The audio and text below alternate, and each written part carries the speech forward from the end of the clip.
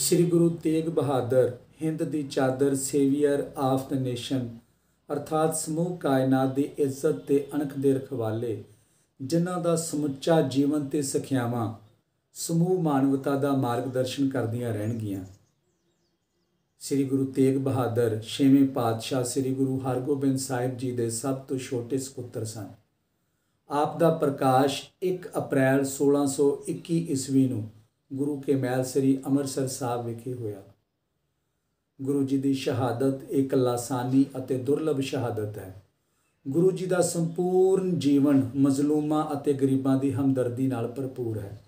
ਛੇਵੇਂ ਪਾਤਸ਼ਾਹ ਨੇ ਨੌਵੇਂ ਪਾਤਸ਼ਾਹ ਸ੍ਰੀ ਗੁਰੂ ਤੇਗ ਬਹਾਦਰ ਜੀ ਨੂੰ ਯੋਗ ਜਾਣ ਕੇ ਸੰਗਤਾਂ ਦੀ ਅਗਲੀ ਕਠਨ ਤਿਆਰੀ ਵਾਸਤੇ ਬਕਾਲੇ ਭੇਜ ਦਿੱਤਾ। ਅੱਠਵੇਂ ਪਾਤਸ਼ਾਹ ਦੇ ਜੋਤੀ ਜੋਤ ਸਮਾਉਣ ਤੋਂ ਬਾਅਦ ਜਦੋਂ ਆਪ ਮੱਖਣ ਸ਼ਾਹ ਲੁਬਾਣਾ ਨਾਂ ਦੇ ਇੱਕ ਵਪਾਰੀ ਲਈ ਨੌਵੇਂ ਪਾਤਸ਼ਾਹ ਦੇ ਰੂਪ ਵਿੱਚ ਗੁਰਗੱਦੀ ਤੇ ਬੈਠੇ, ਤਾਂ ਉਸ ਸਮੇਂ ਔਰੰਗਜ਼ੇਬ ਹਿੰਦੂਆਂ ਤੇ ਜ਼ੁਲਮਾਂ ਦਾ ਕਹਿਰ ਢਾ ਰਿਹਾ ਸੀ।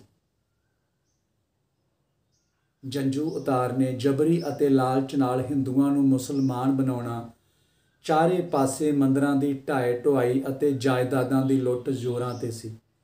ਔਰੰਗਜ਼ੇਬ ਸੋਚਦਾ ਕਿ ਸਾਰੇ ਹਿੰਦੁਸਤਾਨ ਵਿੱਚ ਇਸਲਾਮ ਧਰਮੀ ਹੋਵੇ।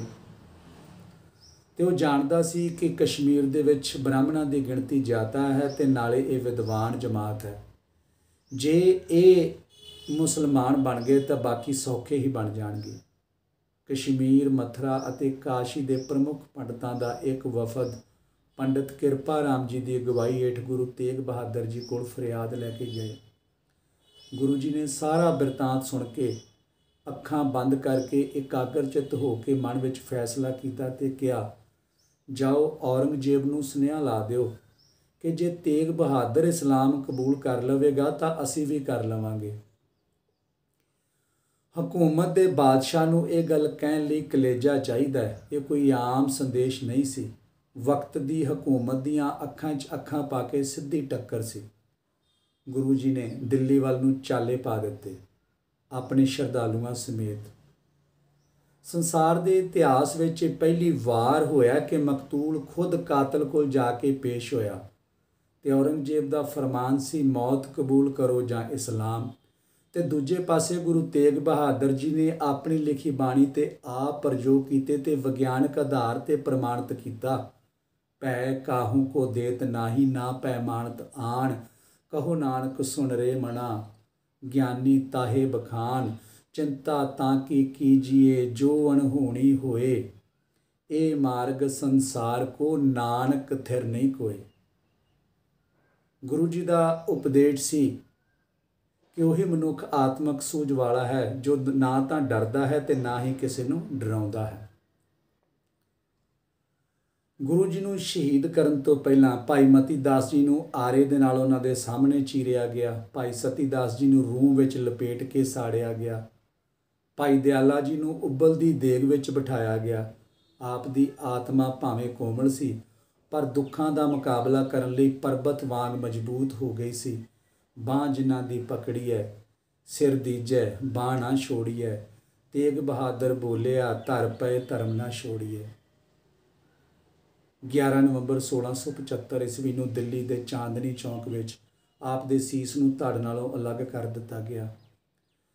ਆਪ ਦੇ ਸੀਸ ਨੂੰ ਭਾਈ ਜੈਤਾ ਜੀ ਆਨੰਦਪੁਰ ਸਾਹਿਬ ਵਿਖੇ ਗੁਰੂ ਗੋਬਿੰਦ ਸਿੰਘ ਜੀ ਕੋਲ ਲੈ ਗਏ। ਆਪ ਦੇ ਧੜ ਨੂੰ ਲੱਖੀ ਸ਼ਾਹ ਮਣਜਾਰਾ ਆਪਣੇ ਰੂਮ ਵਾਲੇ ਗੱਡੇ ਵਿੱਚ ਲੁਕਾ ਕੇ ਆਪਣੇ ਘਰ ਲੈ ਗਿਆ ਤੇ ਆਪਣੇ ਘਰ ਨੂੰ ਅੱਗ ਲਾ ਕੇ ਗੁਰੂ ਜੀ ਦੇ ਧੜ ਦਾ ਸੰਸਕਾਰ ਬੜੇ ਅਦਬ ਨਾਲ ਕੀਤਾ। ਤੇ ਉੱਥੇ ਗੁਰਦੁਆਰਾ ਸ੍ਰੀ ਰਕਾਬਗੰਜ ਸਾਹਿਬ ਸ਼ਿਸ਼ੋਭਤ ਹੈ। ਆਪ ਦੀ ਲਿਖੀ ਬਾਣੀ